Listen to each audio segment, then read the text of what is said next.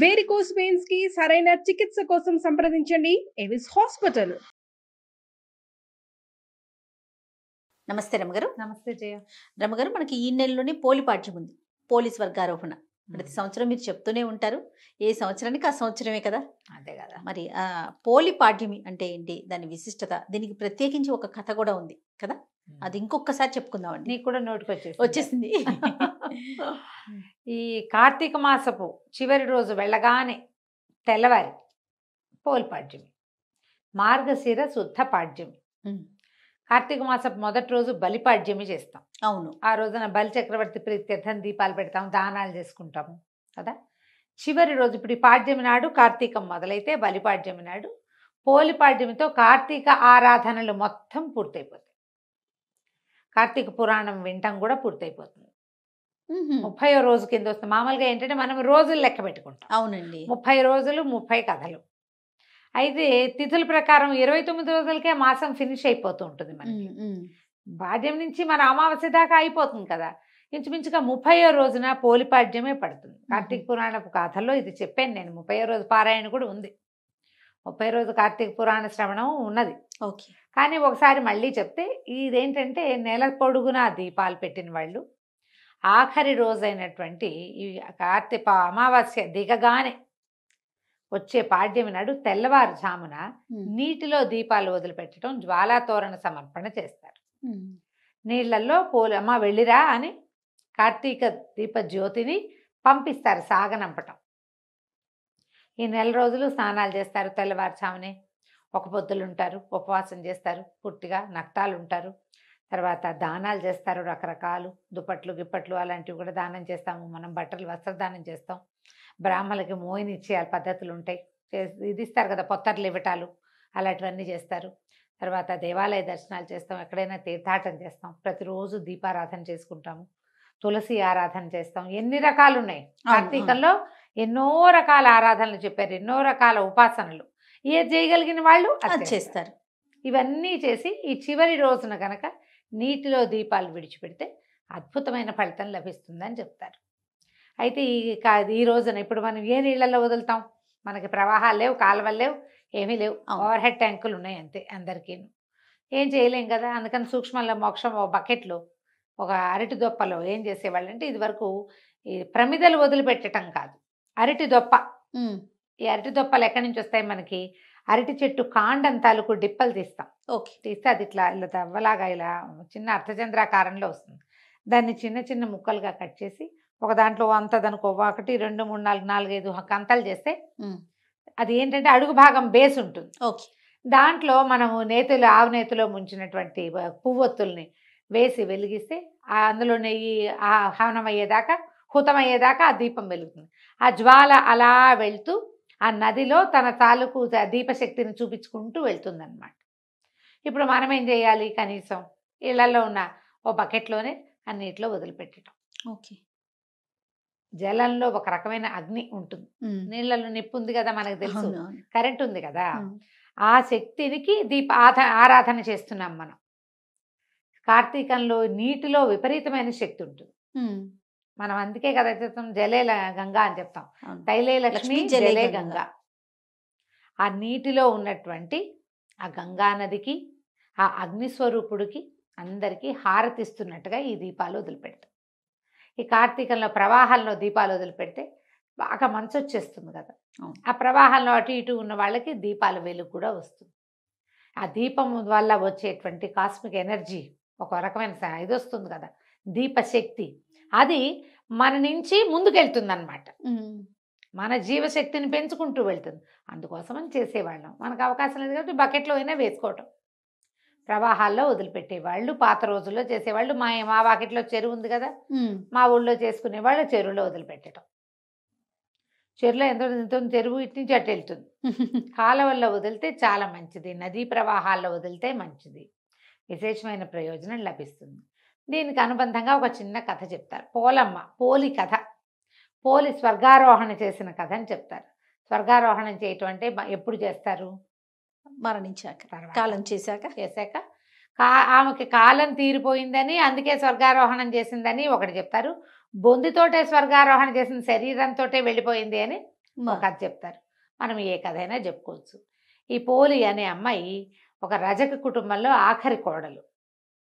మిగిలిన వాళ్ళంతా కొంచెం గద్దరి వాళ్ళు తెలివైన వాళ్ళు పోలి మెతకది భక్తురాలు. ఆ అమ్మాయికి ముందు నుంచి దేవుడికి దండం పెట్టుకోవటము ఏదైనా మంచి పని చేయటము అవి ఉండేవి. ఇప్పుడు వీళ్ళంతా కూడా ఏంటంటే ఈ నిత్య పూజా విధానాలు లేని కాలం అది. ఓ. ఈ కథాకాలము రోజువారీ దీపారాధన చేయటం రోజువారీ భజన చేసుకోవటం రోజువారీ పూజలు గుళ్ళోకి వెళ్ళటాలు అవి లేవు. అందరూ గుళ్ళోకి వెళ్ళే రోజులు కూడా కావు. ఓ. ప్రత్యేకంగా కార్తీక మాసం ఆరాధనా మాసంగా ఉండేది ఆ కాలంలో. అప్పుడు ఏం చేసేవాళ్ళు? ఈ ఇంట్లో దీపాలు గీపాలు లేక వీళ్ళు నదీ తీరానికి వెళ్ళిపోయి నదిలో స్నానం చేసి నది ఒడ్డునే దీపారాధన చేసుకుని కార్తీక దామోదర ప్రీత్యర్థం దీపారాధన మహంకరిచి అని ఎవరన్నా అయ్యగారు మంత్రం చెప్తే చెప్పినట్టు లేకపోతే దేవుడికి తమకు చేత వచ్చినట్టుగా దండం పెట్టుకుని స్నానం చేయటం దండ దీపం పెట్టడం కార్తీకంలో ఇంకా ఏమీ లేదు. స్నానాలు దీపాలు. అంతే. అయితే ఈ ఇంటిల్లిపాది వెళ్ళేవాళ్ళు. ఇప్పుడు ఇంటిల్లిపాది వెళ్ళిపోతే తెల్లవారు మళ్ళీ వెనక్కి తిరిగి వచ్చేసరికి ఎండెక్కి వస్తారు. అప్పుడు దీపావళి పని ఎట్లా ఇంట్లో?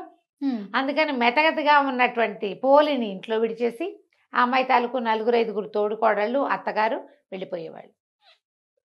ఈ పిల్ల కూడా తను కార్తీక స్నానం చేయాలని అదని ఉండేది మనసు. కానీ అది కుదిరేది అవకాశం. లేదు. అవకాశం లేదు. ఇంట్లో ఉన్న నీళ్ళే పోసుకొని గంగా గంగా అని గంగాదేవిని తలుచుకుని దండం పెట్టుకునేది. మామూలుగా కొంచెం శ్రద్ధాసక్తులు ఉన్న పిల్ల. వీళ్ళకి రోజువారీ పూజా విధానాలు ఉన్నట్టు కథలో చెప్పరు. ఆ కథాకాలం కూడా అలాంటిది కాదు. ఈ నెలలోనే చేసుకునేవాళ్ళు.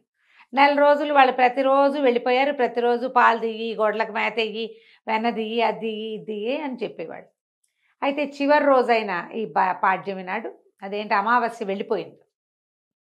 ఆ అమ్మాయి అమావాస్య ఉందనే భావించింది. అమావాస్య వెళ్ళిపోతాం. వీళ్ళంతా వెళ్ళిపోయారు దీపాలు పెట్టుకోవడానికి. ఈ అమ్మాయి ఏమనుకుందంటే ఇంట్లో ఉన్నాం కనీసం ఇక్కడైనా దీపం పెట్టుకుందాం వీళ్ళు వచ్చే లోపలనే ఏం చేసింది? ఇక అత్తగారన్ని తలుపులు వేసుకుంటుంది. వాళ్ళ ఇంట్లో దీపారాధనకి వ్యవహారాలు ఏమీ లేవు. ఉన్నవి పట్టుకెళ్ళి అక్కడ దీపం పెట్టుకుంటారు వాళ్ళు. ఇక్కడేం లేదు. అందుకని అమ్మాయి ఏం చేసిందట? వెన్న చిలికి ఆ కవ్వానికి ఉన్న అది ఇంత ముద్ద రావాలి లెక్క. అది తీసి అక్కడ పెట్టింది. కవ్వానికి వెన్న అంటుకుని ఉంటుంది గాళ్ళల్లో. తెలుసు కదా ముద్దలా ఉంటుంది కవ్వం ముద్ద. ఆ ముద్ద తీసి దాంట్లో నుంచి అట్లా అలా గదిస్తే అంత నలకంత వెన్న వచ్చింది. ఆ దొడ్లో ఒక పమిడిపత్తి చెట్టు ఉందట వాళ్ళకి. చెట్టు చెట్టు ఇట్లా విచ్చుకుంటాయి కాయలు. అవును. అందులో నుంచి కొద్దిగా పత్తి తీసి దాన్ని బాగా నలిపి ఒత్తి చేసింది.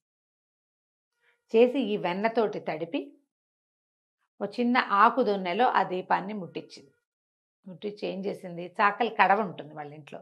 బాణ చాకలి బాణ బట్టలు మా ఉడకబెట్టడానికి వాడతారు. అవును. పొయ్యెక్కిచ్చి చవుడు అవి వేసి బట్టలు ఇస్త్రీ చేస్తారు కదా వాళ్ళు. దాన్ని ఏదో అంటారమ్మా. బట్టల్ని కమ్ము బిడవటం అంటారు. మీ ఊళ్ళల్లో ఏమంటారో నాకు తెలీదు. కమ్ము పిడిచి ఇవ్వు అని చెప్పేవాళ్ళు మా వాళ్ళు. కమ్ము పిడవటం అంటే ఆ నీళ్ళు బాగా మరిగించి అందులో సున్నము చవుడు ఏదో వేసి ఈ దుప్పట్లు పా కొంచెం ఆ, గార రంగు వచ్చేస్తాయి. పాత పడిపోయి అంటే మాసిపోయిన దుప్పట్లు. అందులో పడేసి ఉడికిచ్చేవాళ్ళు. ఉడికించాక బట్టలు బాగా వేడి నీళ్ళల్లో సలసల్లాడితే ఆ గాళ్ళల్లో అవే నేతలో ఇరుక్కుపోయిన మురికంతా బయటకు వచ్చేస్తుంది.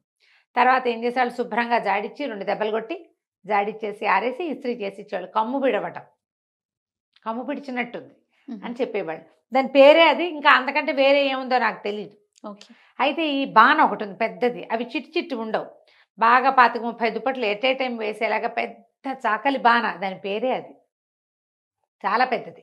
అది తిరిగేసి అందులో నీళ్ళు పోసి ఆ బాణలో విడిచిపెట్టింది ఆ దీపాన్ని. అయితే ఏమైంది? అదే సమయానికి విష్ణుదూతలు వెళ్తున్నారట ఆకాశంలో. వెళ్తుంటే ఈ అమ్మాయి ఆ బాణలో దీపం వేశాక గుమ్మానికి ఆనుకొని కూర్చుంది. ప్రాణం పోయింది. ఆ అమ్మాయికి సమయం అయిపోయింది. ప్రాణం పోయేసరికల్లా చటుక్కున వీళ్ళు దిగొచ్చి దేవ దేవదూతలు ఎవరు కూడా విష్ణు పార్షదులే వచ్చి ఆ అమ్మాయిని చేదుకుని దాంట్లో కూర్చోబెట్టుకున్నారు. పుష్పక విమానంలో ఒక విమానం వేసుకొచ్చారు వాళ్ళు. వీళ్ళిద్దరూ ఎట్లా ఉన్నారు? శంఖచక్రాలు ధరించి తామర పువ్వులు మెళ్ళో దండలు కూడా కమలాలంకృతులుగా ఉంటారు వాళ్ళు. ఓహో. విష్ణు సాక్షాత్ విష్ణు స్వరూపులుగానే ఉంటారనమాట చక్కగా ఉన్నారు. పద్మమాలాలంకృతులుగా ఉన్నారు అని చెప్తారు. ఎప్పుడైతే ఈ అమ్మాయి ఆ పా విమానంలో కూర్చుందో కాళ్ళు వేళ్ళాడేసుకుని కూర్చుందట పక్కన ఒదిగి. కూర్చునేసరికల్లా ఈ అమ్మాయి వీళ్ళింటి నుంచి విమానం లేచేసరికల్లా చుట్టుపక్కల వాళ్ళు చూసేశారు. చూసేసి అమ్మో అమ్మో పోలిని తీసుకుపోతున్నారు పోలికి స్వర్గం వచ్చేసిందని కేకలు పెట్టారు.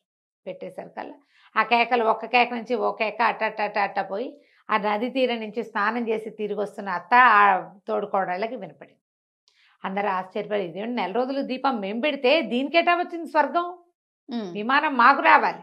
దానికేటా వచ్చింది? అత్తగారు పరిగెత్తుకుంటూ వచ్చి అవి ఎగిరిపోతున్న విమానంలో నుంచి కాళ్ళు వేలాడేసి కూర్చుని ఆ పోలి కాళ్ళు పట్టేసుకుందట ఆవిడ. వెళ్ళటానికి తను కూడా. ఆ అమ్మాయి కాళ్ళు అత్తగారి కాళ్ళు పెద్ద కోడలు పెద్ద కోడలు కాళ్ళ కోడలు కాళ్ళు చిన్న కోడలు అట్ట వరుసగా ఐదుగురు ఒకళ్ళ కాళ్ళు ఒకళ్ళు పట్టుకుని వేలాడుతూ వెళ్ళారు. పైకి వెళ్ళారు? వెళ్ళారు కొంత మేరకి వెళ్ళేసరికల్లా ఈ దేవదూతలు ఇద్దరు ఉన్నారు కదా విష్ణు పార్షదులు ఇద్దరు చూసి ఈ అమ్మాయికి అవకాశం ఉంది మీకు అవకాశం లేదని అత్తగారి చేతుల మీద ఒక దెబ్బ కొడితే మొత్తం అంతా గుంపంతా కింద పడిపోయారు. పోలీస్ వర్గానికి వెళ్ళిపోయింది. అది మార్గశిర శుద్ధ పాడ్యమి. అమావాస్య వెళ్ళిపోయిన మరుసటి రోజు.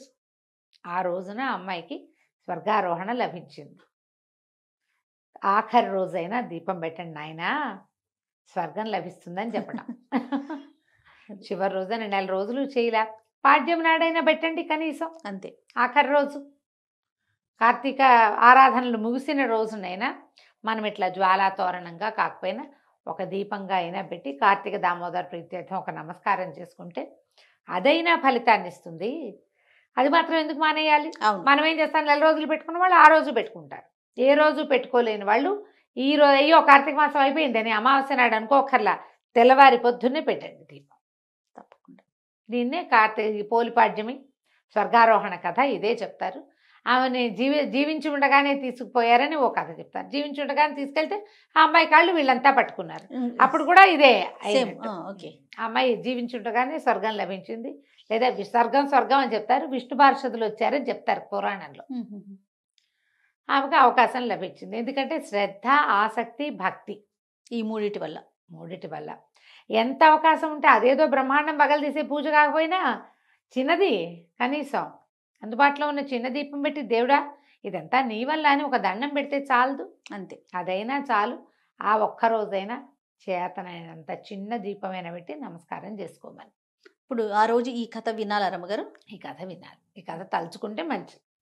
సంతోషం. ఇంకా ప్రత్యేకించి మనం చేయాల్సిన పూజా విధానం ఏమన్నా ఉంటుందా ఏమీ లేదు. దీపం పెట్టడమే ప్రధానం. అంతేనా? అంతే.